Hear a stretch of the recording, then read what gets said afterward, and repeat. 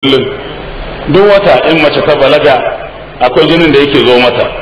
Wannan jinin da yake zuwa to wajibi ne mata wato su koyi yadda ake tsarkinsa kuma su san yadda tsarkin yake yadda za su iya yin sallar da za ta zama karɓaɓɓiya.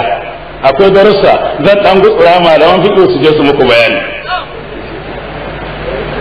Mace idan jini ɗaya hailarta ya ɗauke za ta iya yin sallah raka'a biyar kafin rana ta fada. Sallah azhar da la'asar in dai a zaman gida take to ta waje ba kanta. In ta yi wanka ta gama za ta iya yin sallah za ta iya yin raka'a biyar. To sallar azhar da la'asar sai ta yi su cikaku in mazauniyar gida ce. Idan mai tafiya ce za a iya yin sallah raka'a uku sai ta yi sallah azhar sai ta yi sallar la'asar bayan ta yi wanka. Ina fatan kun gane wannan? To wajibi mata su koyi wannan tsarkin. Wata matar sai ta gama jinin al'ada. Tun wajen ƙarfe biyar za a iya sallah raka'a hamsin ma kafin rana ta ba da. Amma sai ta bari sai bayan magarba ta yawanka kuma magarba za ta sallata kawai. Wannan kuskure ne. Matar da take wannan ta bar salloli da gangam ta bar azhar da gangam ta bar la'asar da gangam malamai sun ce duk wanda ya bar sallah ta farilla guda ɗaya bai yi ba inda za a ba shi dama ya shekara goma yana maimaita sallah irin wannan guda ɗayan da ya bari. Ladan wannan sallar daidai ba za a ba shi ba. Saboda haka a kiyaye. Sai an yi karatu za a gane wannan. A kiyaye wannan. Mata su kiyaye wannan tsarki. Kuma inda a ce jinin ya zo haka nan wato jini ya zo wa mace za a iya samun tana zaune a gida za a iya samun sallah raka'a biyar. To ta yi samu jini a lokacin azar da la'asar ba za ta biya ba.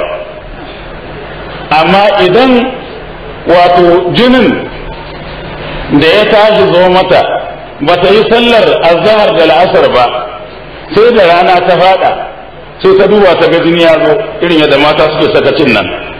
Wato ba za su duba ba ko ba za su kula ba ko ba za a yi sallah akan kari ba. Sai daga ƙarshe wani lokacin sai rana ta fada. Ta zo ta duba sai ta ga jini. Alhalin kuma jinin ya zo bayan magariba ne. Ta bar sallah azhar da la'asar da gangan ta wuce. A gurin malikiya sai ta biya kenan.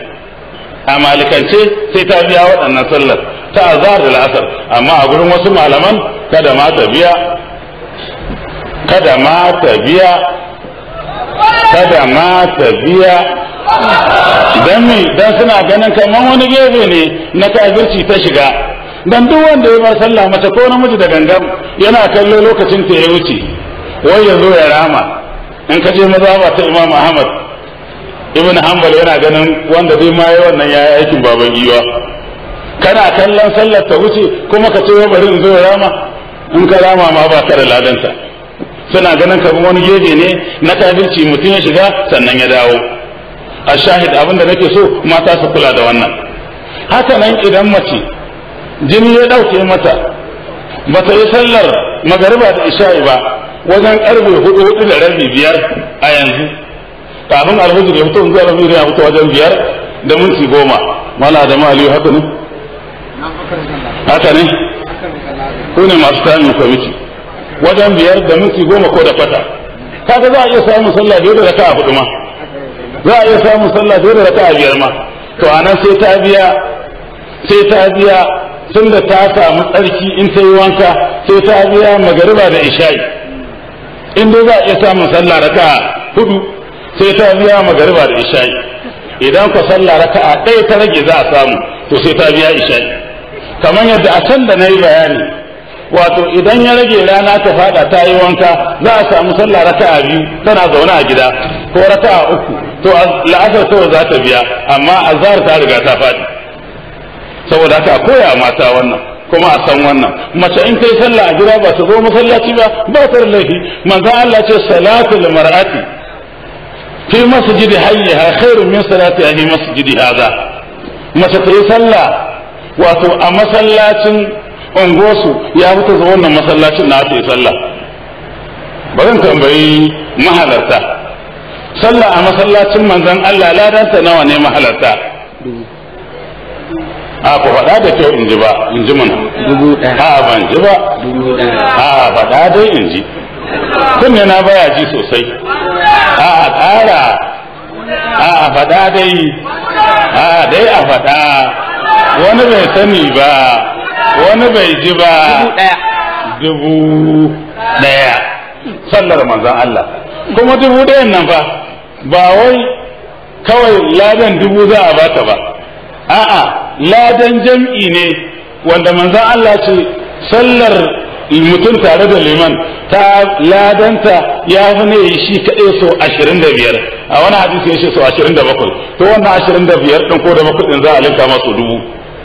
To mace in ta yi sallah a masallacin ungosu ko da a nan garin mashi ne ko da a mani ne ko da a daura ne ko da a nan ɗan ɗagora ne ko da a cikin garin katsina ne ko da a huntuwa ne ko da a malumfashi ne kai ko da a jos ne kai ko da a kaduna ne ko da a adamawa ne ko da a abuja ne kai a ko'ina ko da a sokoto ne in ta yi sallah a masallacin ungosu ladanta ya fi ta zo masallacin manzon allah ta yi sallah lada in ji annabi sallallahu alaihi wasallam saboda haka mata kun ji ladan kuma ba wannan kadai ba. In dai sallar ki a masallacin unguwar ku ya fi lada. To masallacin manzon Allah ladan jam'i dubu za a baka. Kin yi sallah a masallacin unguwar ku ya fi na manzon Allah. Ladan nan dubu kenan sai Allah ya ga damar ya sanya da za a iya miki. Sai manzon Allah ce wa salatul mar'ati fi uqur dariha khairun min salatiha fi masjidi fi masjidi hayya mace ta yi sallah a kokowar ɗakin ta kuma ya mata zo masallacin unguwar nasu lada ta yi sallah. Saboda haka mata sai a kiyaye wannan maza sai a kiyaye wannan. Kai kuma namiji ka zauna a gida ka ce za ka yi sallah in babu wani uzuri. Malamai sun ce wannan sallar taka wato akwai gyara a ciki.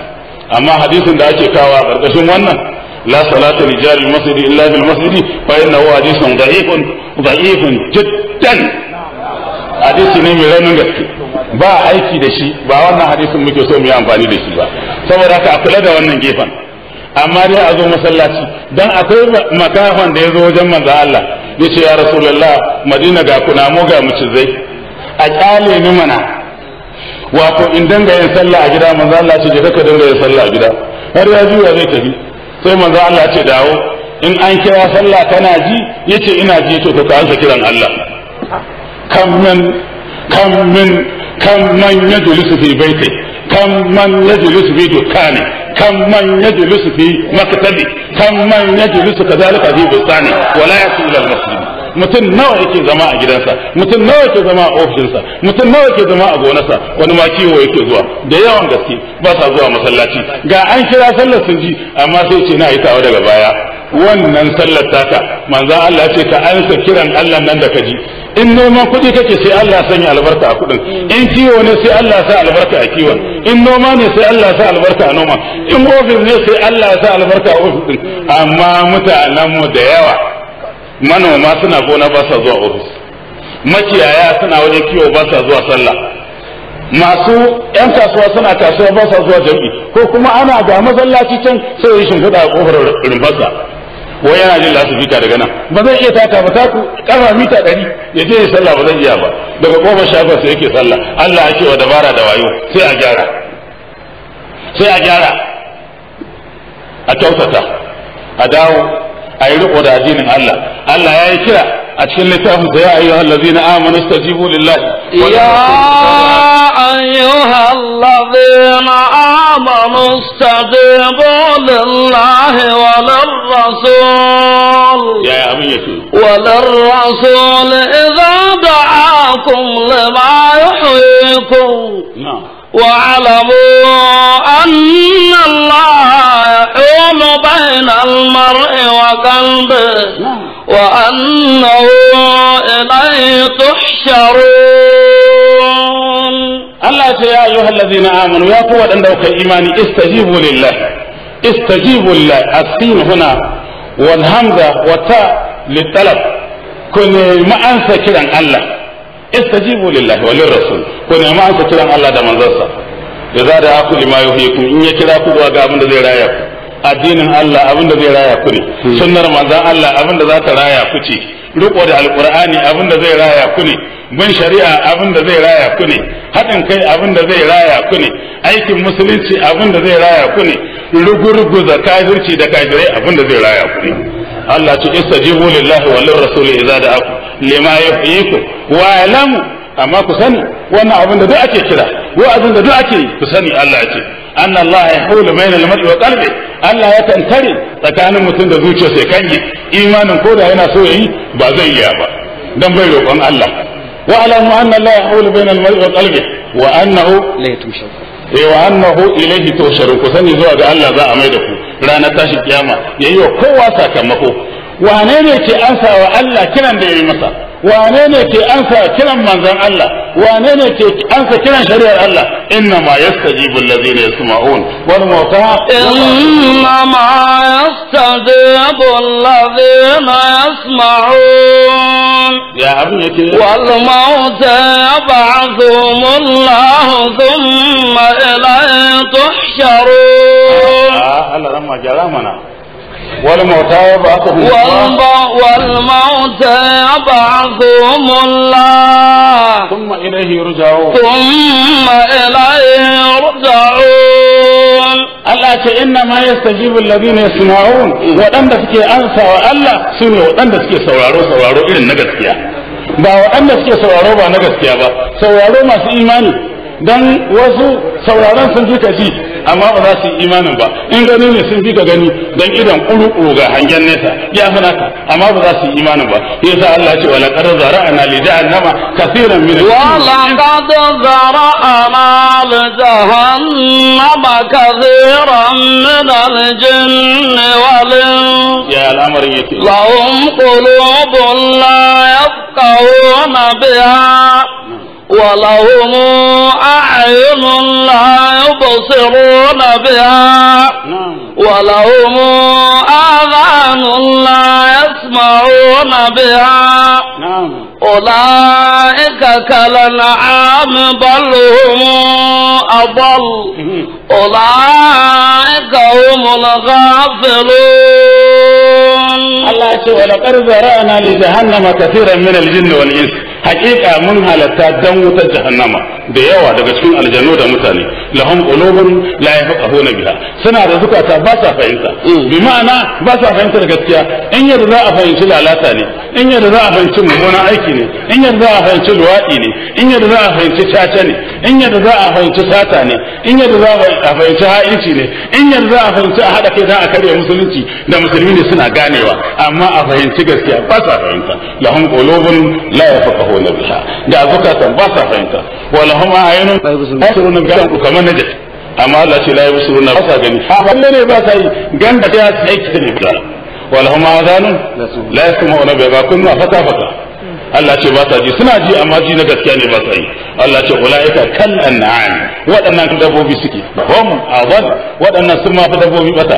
Ulaika humul ghafilun. Waɗannan su ne fatattu na gaskiya Allah ce inna ma yastajibu alladhina yasma'un wal mauta yab'athuhumullah matattu Allah ya taraya bi ma'ana kafirai al mauta anan mautal qulub waɗanda zukatan suka mutu mautal asma waɗanda kunnuwan suka mutu.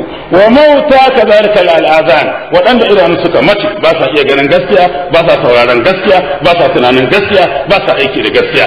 Allah ce wal mauta yab'athuhumullah. Wal mauta yab'athuhumullah.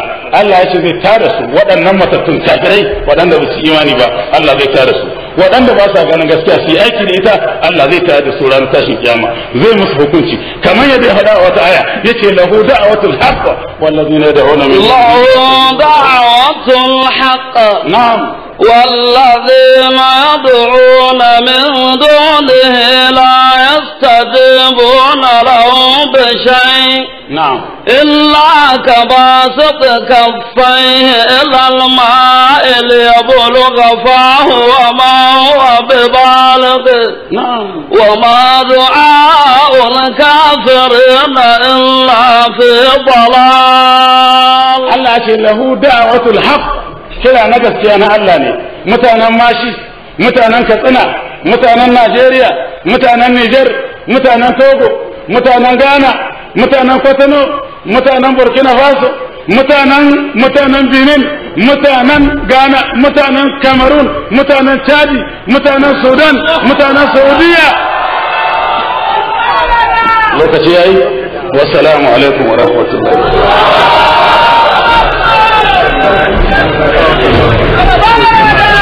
عليم wa alaikumus salam wa rahmatullahi wa barakatuh ni ma wani lokaci fa nukan dan yi wani kokari maimakon in tsayar sai in ji wa'azin ya kama